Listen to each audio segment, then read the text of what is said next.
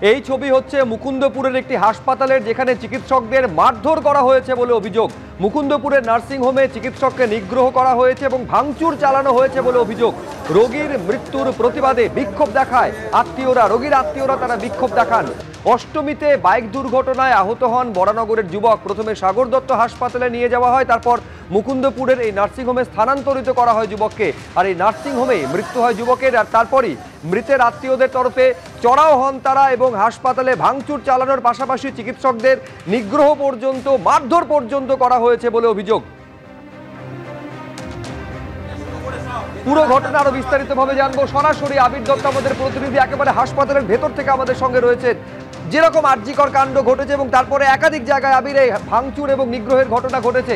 তুমি যে হাসপাতালে রয়েছে মুকুন্দপুরে, ঘটেছে ঠিক কি? কি অভিযোগ পরিবারের?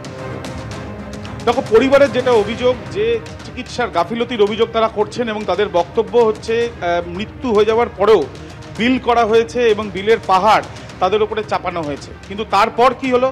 তারপর যেটা হলো, হাসপাতাল চত্বরে এসে দেখা গেল, যে হাসপাতালে যে রিসেপশন, রিসেপশনের সামনে এই যে প্রিন্টার সম্পূর্ণ ভাঙা অবস্থায় রয়েছে। যে যিনি এখানে রয়েছেন, কর্তব্যরত অবস্থায় তার সঙ্গে কথা হলো, কারা করল এটা? পেশেন্ট পার্টিই করেছে। একজন ফিমেল ছিলেন, উনিই ভেঙেছেন। আপনাদের সঙ্গে কি কিছু হয়েছিল? মানে কথা কাটাকাটি কিছু হয়েছে? যার থেকে এটা হলো? ওনাদেরকে মানে ডাক্তারবাবু না আসার কারণে ওনারা চড়াও হয়। ওনার বক্তব্য ডাক্তারবাবু আসেননি এত দেরি কেন? এগারোটার সময় টাইম দিয়েছিলেন কেন আসে এই জন্য ওনারা বেশি চড়াও এরপর আমরা কথা বলব একজন চিকিৎসকের সঙ্গে যেটা আমরা দেখতে পেলাম যে তাকে দীর্ঘক্ষণ ঘেরাও করে রাখা হয়েছিল। কি অবস্থা হয়েছিল? আপনাকে কি ধাক্কা মারা হয়েছে? পেছন থেকে তো মনে হচ্ছে আমি যখন ঢুকেছি একটা এরকম এ করলাম। মানে হাত দিয়ে আমি কাউকে দেখিনি ধাক্কা মারতে কিন্তু এরকম একটা ফিল হলো। ঠিক আছে? আমি যখন ঢুকছি নার্সিংহোমে কেন? আপনাকে কেন ঘেরাও করে রাখা হলো? মানে এই তো আমার বুঝতে পারছি না। কেন? তিনটে চল্লিশে পেশেন্ট মারা গেছে ভোরবেলা। তা ডেট ডিক্লেয়ার হয়ে গেছে। তা আমি ঢুকেছি এগারোটায় যেটা আমি রাউন্ডের টাইমে ঢুকি। ঠিক আছে? তা আমি তো এখানে কোনো আনসারেবল নই। কেন? সব তো শিট বলবে পেপার্স কথা বলবে ডাক্তারি। ঠিক আছে? বিল বাড়ানো হয়েছে একটা অভিযোগ? হুম। বিল বাড়ানোর কোনো ব্যাপারই নেই এখানে। এক্স্যাক্ট নর্মাল বিল হয়েছে। যেটা তিনটে চল্লিশে পেশেন্ট মারা গেছে ওনারা বলছে নটা দশটায় কিছু বিল হয়েছে ওটা কিছু ডিসপোজেবল আইটেম হয়তো অনেক সময় মিস হয়ে যায় সেটা অ্যাড করে দেওয়া হয় ফাইনাল বিলে নিয়ে বিলটা দেওয়া হয়। পরবর্তীকালে কি করবেন? এই যে দীর্ঘক্ষণ যে ঘেরাও থাকলেন কতক্ষণ ঘেরাও ছিলেন তাও প্রায় দেড় থেকে দু ঘণ্টা। করবেন এরপরে? এরপরে তো আমাকে আর এখন কয়েকদিন ডাক্তারি স্থগিত রাখতে হবে। কেন? কেন? এইভাবে তো মানসিক অবস্থা নিয়ে তো ডাক্তারি করা মুশকিল। আপনি তো দেখুন আমরা ক্রিটিক্যাল কেয়ারে আছি। একশো জনের মধ্যে একশো জন পেশেন্ট বাঁচবে না। ঠিক আছে? এবার আপনি যদি বলেন একশো জনে একশো জনই বাঁচবে এটা কোনো ডাক্তারের পক্ষে সম্ভব না। কর্মবিরতি? হ্যাঁ পার্সোনাল কর্মবিরতি। কিছু করার নেই এই অবস্থায়। মানে ভয় পেয়ে গেছিলেন বা কতটা আতঙ্কিত হয়ে গেছে আতঙ্কিত তো হবই এত বড় মব এসছে একটা বিচ্ছিরি ও গালাগালি যা ইচ্ছে দিচ্ছে এগুলো তো ঠিক নয়। আপনাকে? আমাকে। আপনি একাই ছিলেন? আমি একাই ছিলাম ওখানে। আর এমও ছিল কি? পরে আরএমও এসছে। প্রথমে আমি একাই ছিলাম। দেখলাম পুলিশও উপস্থিত ছিল হ্যাঁ পুলিশ উপ- পুলিশ বাইরে ছিল মবটাকে আটকানোর জন্য। ভেতরেও দেখলাম আমরা কয়েকজন। ভেতরে একজন এসেছিল ভেতরে কিন্তু আমি বাইরে খেয়াল করিনি পুলিশ কিরম ছিল কিন্তু ভেতরে একজনই ঢুকেছিলেন নিয়ে বেরিয়ে গেছেন ওনারা মবটাকে বাইরের মবটাকে সামলেছেন আতঙ্কিত হয়ে আতঙ্কিত হয়ে রয়েছে। এক তেইশ বছরের যুবক চিকিৎসকের সঙ্গে আমরা কথা বললাম তিনি বললেন যে তিনি কর্মবিরতির মতনই তিনি ভাব- ভাবনা চিন্তা করছেন। অনেকেই রয়েছেন যাদের বিরুদ্ধে অভিযোগ তোলা হচ্ছে হাসপাতালের তরফে এবং তাদেরও কিন্তু বক্তব্য যে এখানে তাদের যখন পেশেন্টকে নিয়ে আসা হয় তারপর থেকে পেশেন্টকে নিয়ে আসার পরে তাদের বিল বাড়ানো হয়েছে এবং তারপর চিকিৎসায় গাফিলতির অভিযোগ। আমরা একবার কথা বলব চিকিৎসায় গাফিলতির অভিযোগ আপনারা করেছেন। হাসপাতালের তরফ থেকে এটাও অভিযোগ হয়েছে যে তাদের একটি প্রিন্টার ভাঙচুর করা হয়েছে। ঘেরাও করে রাখা হয়েছিল ডাক্তারকে। আপনাদের অভিযোগটা কি? বা এই যে অভিযোগ আপনাদের বিরুদ্ধে উঠছে। ঘেরাও করার কথা বলছে ওনাকে ঘেরাও করা হয়তো কেউ মারধর করেনি বা ইয়ে করেনি। ওনাকে ঘেরাও করে জিজ্ঞেস করা হয়েছে যে আমাদের ট্রিটমেন্ট ধাক্কা দেওয়া হয়েছিল এমনও তিনি কাউর কোণে যদি ধাক্কা দেওয়া থাকে ওনাদের ক্যামেরা আছে।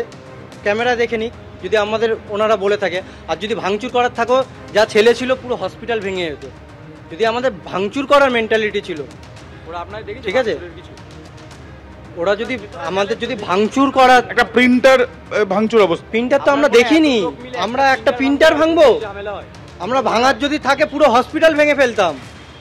আমাদের যাতে কোনো অন্য পেশেন্টের যাতে না হয় আমরা কিন্তু কোথাও গিয়ে ঝামেলা করি আপনাদের অভিযোগটা কি ছিল মূলত?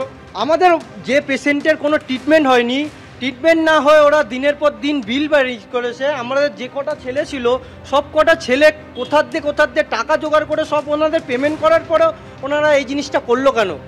একটা ডাক্তার বলে তো ভগবান মানি না আমরা? ওনার মিথ্যা কেন বলে বলে আমাদেরকে ইয়ে করছে?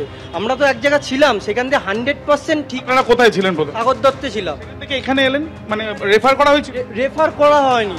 এইখানকারই একজন কারোর সাথে কথা হয়েছে অন দ্য ফোন ফোনে কথা হয়েছে যে এখানে হান্ড্রেড পার্সেন্ট রিকভারি হয়ে যাবে। তো আমাদের তো একটা ছেলেকে বাঁচানোর জন্য আমরা যতটা পারব চেষ্টা করব না? তো সেই কারণেই তো ওইখানে আনানো হয়েছে। আনানোর পরে না ওনারা বলা হয়েছিল যে আনেন সাথে সাথে সিটি স্ক্যান করে দেবো এখানে কিচ্ছু করানো হয়নি। কোনো কিচ্ছু করানো হয়নি। ওনারা যা যা মানে আপনাদের বিরুদ্ধে যে অভিযোগ করা হচ্ছে সেই অভিযোগ আপনারা মিথ্যা বলছেন? মিথ্যা হান্ড্রেড পার্সেন্ট। তাহলে আপনারা ভেতরে কি কি দেখতে পেলেন? না, আপনারা তো ভেতরে ঘুরে দেখলেন। আমরা তো পরে এলাম পরে গেলেন আপনারা ভেতরে ঢুকে কিছু দেখে মনে হলো যে ভাঙচুর হয়েছে ভেতরে? প্রিন্টার ভাঙা অবস্থায়। আপনারা বলুন এই যে চারিপাশে ছিল প্রশাসন ছিল। যদি আমরা মারপিট করি বা ভাঙচুর করি তাহলে প্রশাসন তো আমাদের আটকাবে। অনেক আপনাদের আসার আগে অনেক পুলিশ ছিল। হ্যাঁ তাহলে তারা তারা আমাদেরকে আটকাতো। তাহলে প্রশাসনের সামনে দাঁড়িয়ে আমরা ওরা যদি একটা হসপিটাল ভাঙচুর করি, প্রশাসন সেটা মেনে নেবে কোনো দিন একেবারে পরিবারের সদস্যরা কিন্তু বা যারা বন্ধুরা রয়েছেন এই মৃত যুবকের, তারা বলছেন তারা এই ঘটনার সঙ্গে জড়িত নয়, কিন্তু তারা বলছেন চিকিৎসায় গাফিলতি হয়েছে। আরও একবার ছবিটা সন্দীপন গুপ্তকে বলছি, দেখানোর জন্য আমরা যে হাসপাতালের সামনে দাঁড়িয়ে রয়েছি, কসমোস হাসপাতাল, এবং এই হাসপাতালটা বাইপাসের ধারে এই হাসপাতাল, সেই হাসপাতালের সামনে এখনও পর্যন্ত পুলিশ রয়েছে, দেখা যাচ্ছে। এবং এই যে পুলিশের সার্ভে পার্ক থানার পুলিশ এখানে রয়েছে প্রথম থেকে এখানে রয়েছে এবং এই হাসপাতালের ভেতরে বেশ কিছুক্ষণ ধরেই কিন্তু দেখা যায় যে চিকিৎসক তিনি তাকে ঘিরে যারা পরিবারের সদস্যরা তারা বা যারা আত্মীয় স্বজন বা বন্ধু বান্ধবরা এই মৃত যুবকের তারা এখানে দীর্ঘক্ষণ তারা দাঁড়িয়ে থাকেন এবং দাঁড়িয়ে থাকার পর তারা যেটা অভিযোগ করতে থাকেন যে চিকিৎসায় গাফিলতি করা হয়েছে কেন বিলের পাহাড় তাদের উপরে চাপিয়ে দেওয়া হলো এবং যেটা চিকিৎসক তিনি জানাচ্ছেন যে তিনি নিজে আতঙ্কিত এবং তিনি এই বিষয় নিয়ে কিছু জানেন না, কিন্তু চিকিৎসা তিনি করেও তারপরেও তাকে এই হেনস্থার মুখ দেখতে হয়েছে এবং তিনি নিজের মতন করে কর্মবিরতির পথই বেছে নিচ্ছেন এমনটাই তিনি একেবারে সেটা চিকিৎসকও জানালেন, কিন্তু মূল বিষয়টা হচ্ছে যে ছবি দেখা গেছিল চোদ্দই অগস্ট মধ্যরাতে আরজিকর মেডিকেল কলেজে। ভাঙচুরের ঘটনা, হামলার ঘটনা, ঠিক যে ঘটনা দেখা গেছিল সাগর দত্ত মেডিকেল কলেজে। গতকাল এসএসকেএম হাসপাতালে দুষ্কৃতীরা, বাইরের দুষ্কৃতীর ভেতরে ঢুকে একজনকে মেরে মাথা ফাটিয়ে দিল। তারপরে এই বাইপাসের ধারে হাসপাতালে, বেসরকারি হাসপাতালে একই ধরনের ঘটনা। চিকিৎসককে মারধরের অভিযোগ, ভাঙচুরের অভিযোগ, এই অভিযোগগুলো সামনে আসছে ফলে প্রশ্ন হচ্ছে, হাসপাতাল থেকে শুরু করে নার্সিংহোম এখানে নিরাপত্তার ব্যবস্থা কতটা সুনিশ্চিত করা গিয়েছে? এই ছবিগুলো সেই প্রশ্নকে বড় করে সামনে এনে দাঁড় করিয়েছে। Thank you.